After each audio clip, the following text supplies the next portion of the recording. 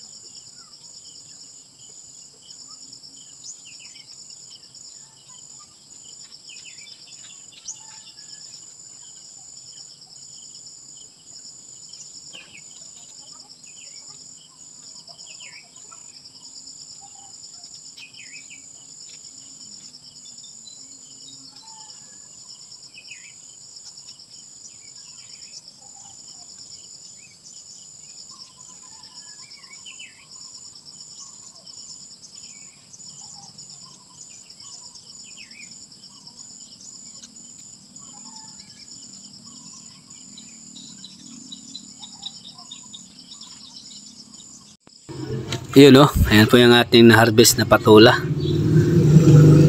I-deliver ko po muna ito at bago tayo mag-duty sa barangay. Yo! At ah, dito tayo sa ilog para ipaswimming yung dalawang kalabaw. Sabay ligo na rin po ako.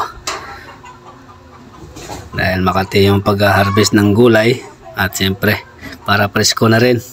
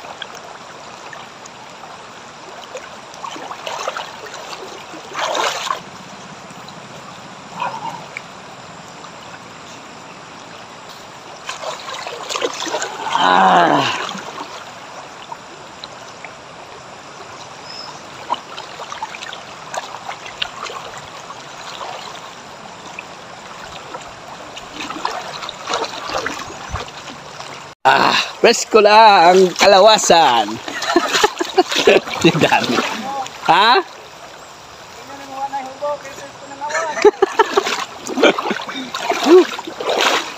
ba? Ang sa bahay, bihis na lang. At mag-almusal. Ang duty natin ngayon.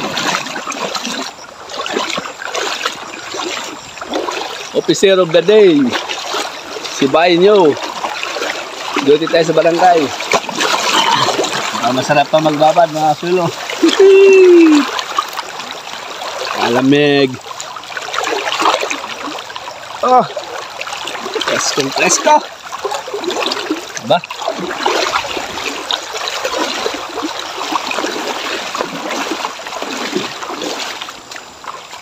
Ah, Deliver ko lang muna pala yung ano, yung patula. Tara.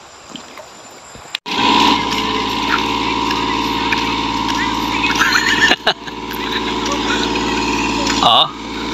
Tinatabunan nila mga swelo yung tubo na may tubig. Oo, malapit na. Oo. Ito yung nakabuta yung aming barangay konsyal na infra committee of infra ayaw lagi oo wala kay Elsing oo oo sus oo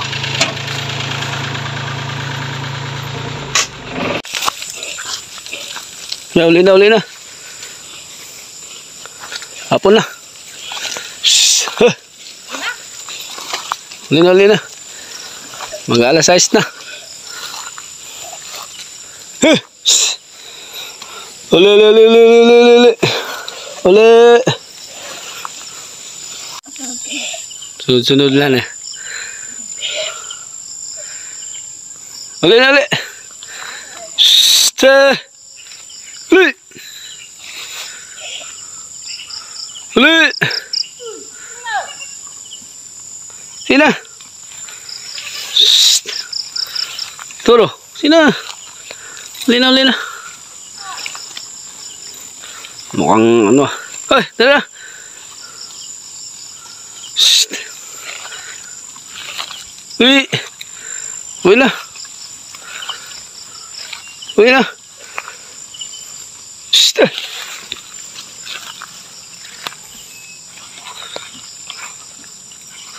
Uli, uli, uli. Ayan po mga sulo, pinapauwi na namin aming mga alagang kambing. At uh, mag-aalas 6 na. So, wala po tayong activity ngayon din sa bukid. Ano lang, pastol at uh, pastol lang sa mga alaga. Dahil uh, duty ako ngayon maghapon sa barangay. At doon sa bubong, ah, hindi pa nagawa mga swelo yung bubong nila pinaano ko lang muna pinakalma ko muna yung panahon kasi kahapon talagang ano yung hangin. So nakakatakot mag ano mag ano dun sa taas nga mahangin baka liparan ako ng yero uli na! Uy! Ah, medyo kumalma na. Eh baka bukas makapag ano na mai-install ko na yung siyero.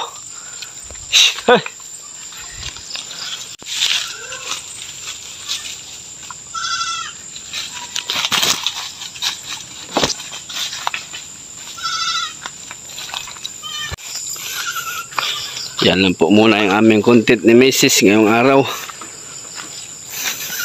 Ayan o. Pagka ganito na yung panahon bukas, lagay ko na yung yero. Okay. Lock. Lock mo na darling. Siguro pa? the next day. Tapos magtuloy po ako dito mga kasuelo sa paglilinis dito sa ating palayan na ayan o dito sa lagsak area. Nakakala ko ay wala na. Yun nga naabunuhan na natin ito. Kaso nung inulan-ulunan bumuelo rin yung damo. Kaya tanggalin natin to. Ako lang pala. So bali natanggalan ko na ito dito banda. Tapos dun sa isa, dun sa dito at saka dito sa taas. Yan. Ngayon dito tayo sa ating iniwan. Tapos meron pa doon sa baba. Sige. Ito muna yung gagawin natin ngayon habang naghihintay ng oras para doon sa pagpapaswimming sa Kalabaw. Ito muna yung babanatan. Unti-unti. Let's go!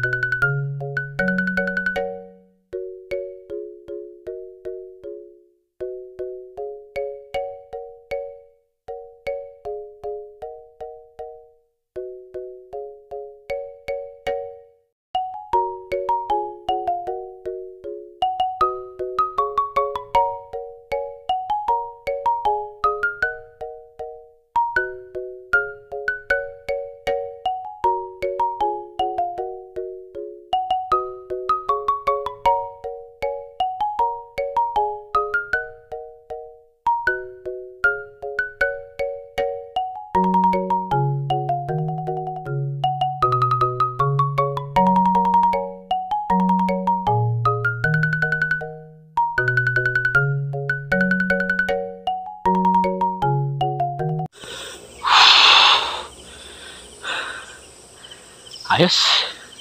Pahinga muna mga kasula. Yung ating nalinisan dito. Bali, okay na ito. Yan. Yun oh. Meron na lang pa isa-isa na lang dyan. Pero wala na talaga. Wala na yung makapal ba. So tatlong pitak na yung aking natapos. Tapos meron na akong, meron pa akong balikan na yun, yung malaking pitak. May area dyan na medyo makapal. Yan ang ating balikan. Balik-balikan. Pagkatapos kung malinisan lahat ito mga silo, ah, abunuhan ko uli. Yan. Pagkatapos mag-abuno, ah, pilapil uli. Linisan ko uli yung ating tinabasan na pilapil kasi ang bilis tumubo ang damo kapag may ulan-ulan talaga.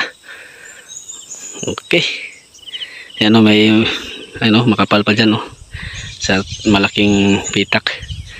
So, kailangan kong tanggalin yan. Para nang sa ganun ay mag, maganda yung kanilang pagbunga. Wala sa gabal ba? Kasi pitikan ko pa to ng isang apply pa na abono. Eh kung hindi ko tanggalin yan, eh sila lang makinabang sa abono nating apply. So at least ito dito yung tatlong pitak ah guminhawa na sila. Yan o, malinis na yung ilalim. So, okay. Balikan ko na yung aking mga alagang kalabaw. At para maka-swimming na. So tuwing umaga ko binabanatan ito mga kasuelo. Tapos sa hapon, pagka nagpastol ng kambing, si Mrs. ah, ako naman dito naglilinis. Yan ang aming ah, activity. Mrs. Umaga at hapon. Yan. Balikan ko yung mga kalabaw tsak eh busog na yung tatlon yan. Eh swimming ko na. Oh, yun na oh. Kailangan natin linisin ito. Kasi naka-recover sila eh. Ayan oh. Ang daming damo. Na, bigla silang umusbong nung naabunuhan natin.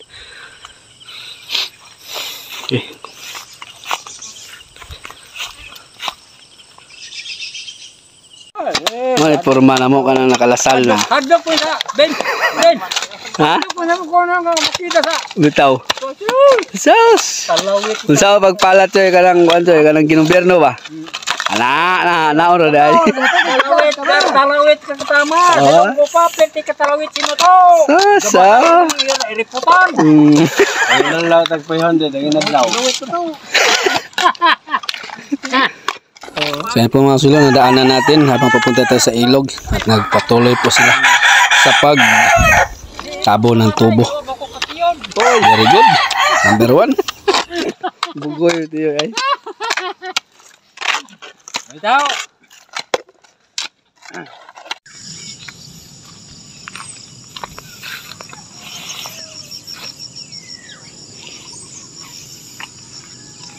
Okay na naka-install na lahat pala mga usulo yung tubo. So inumpisahan na nila ring tabunan. Ayos.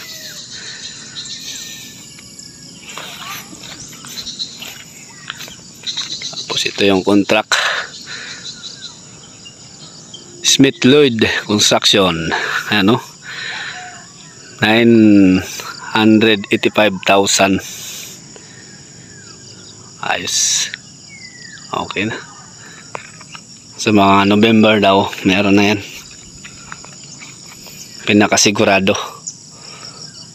May tubig na. Ayos! Number one.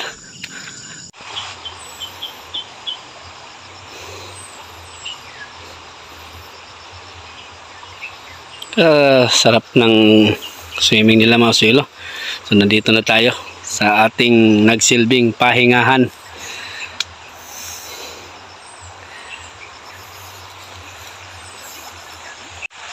So tuwing umaga nandito tayo mga suelo para ibabad ito mga kalabaw. So sila lang dalawa. Si Clark doon sa kapila. So dito yung aking pinaka ano sa umaga bago umuwi sa bahay. So mag-ano muna ko rin eh. Dahil Makati. Naglinis tayo sa palayan. Makati. Tsaka i ano ko na rin itong aking damit na banlawan para hindi gaano magalit si Mrs. ah.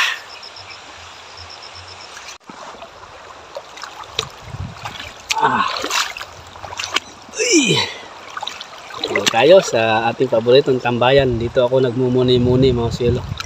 Sa gitna ng ilog. nag-iisip sa mga bagay na kung ano pa ang gagawin sa ating buhay-buhay. Kumbaga dito ako nagmuni-muni.